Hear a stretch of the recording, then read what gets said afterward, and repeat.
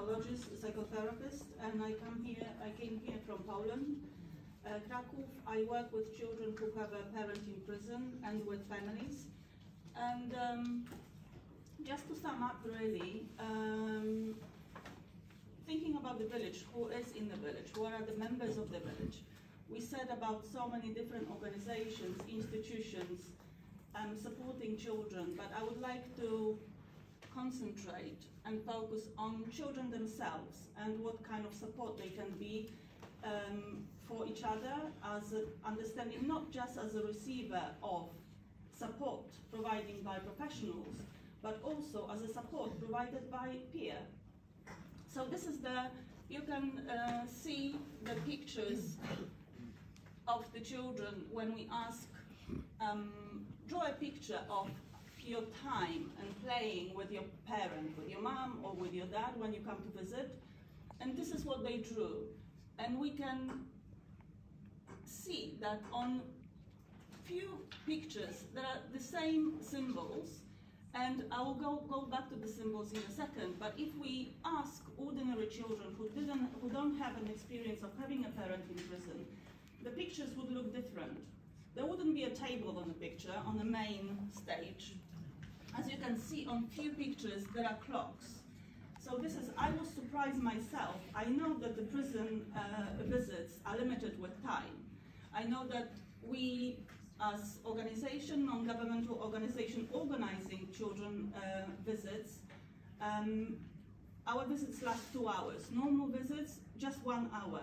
And the children, they don't know what Probacja, this is the organization I'm from, means, but they know Probacja visit is two hours. So this is a special visit. One girl said, five-year-old, there is no way that the five-year-old child knows the concept of the time. But she was saying, today is my special time with daddy, I, we have two hours. I was speechless when I, when I heard that. Um, so supporting, so sharing the experience is very important. You know, us, it's really important also to receive uh, support, as we said, on different levels from different professionals. But knowing that I'm not the only child who have a parent in prison, I can talk about it with other children, not just with adults. It's on a different level talking to adults, talking to professionals.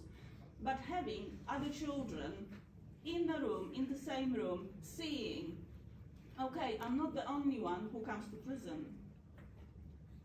After quite some time of the children um, coming, uh, being, participating in our projects, they know each other names when they come to prison visits. Sometimes they sing happy birthday. A few weeks ago, there was a birthday of 15-year-old girl who said, please don't sing. Um, it's a teenager, so don't sing happy birthday. And um, so, but we couldn't control it, you know, we took a little cake, and uh, so the dad came, the dad was uh, uh, in prison, the dad came to pick up the cake, put the candle on, and took the, the cake to the table, and everyone, the, the other 12 families, everyone started singing. and I said sorry to her. Uh, um, but I asked her afterwards, so because it was actually her birthday, um, how are you how are you going to celebrate it? Are you celebrating with your friends? And she said they didn't even remember that it was my birthday. So having those 10 or 12 other families singing that birthday, even though she said I didn't like it, you know, and it was embarrassing, I think it was very special.